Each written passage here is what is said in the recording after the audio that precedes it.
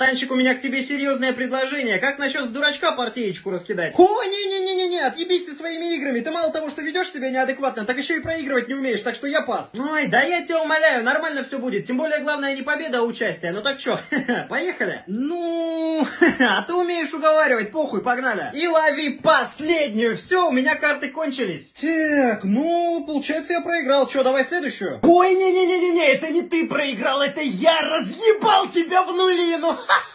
Какой же ты легкий, блядь. Ебать, мне еще никогда в жизни настолько легко не было. Просто вот так, на, блядь, на, вот так последнюю карту тебе засунул. Ебать, просто в глотку тебе высморкался. Слышь, что, умник ебаный, так ты сам сказал, что главное не победа, а участие.